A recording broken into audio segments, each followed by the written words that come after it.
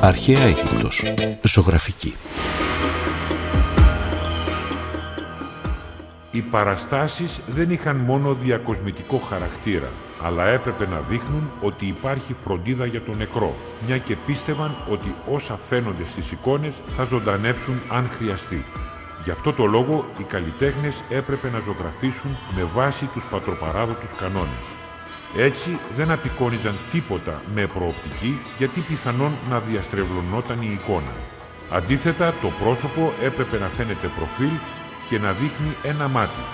Το χέρι και τα πόδια έπρεπε να φαίνονται και το στήθος να είναι στραμμένο μπροστά.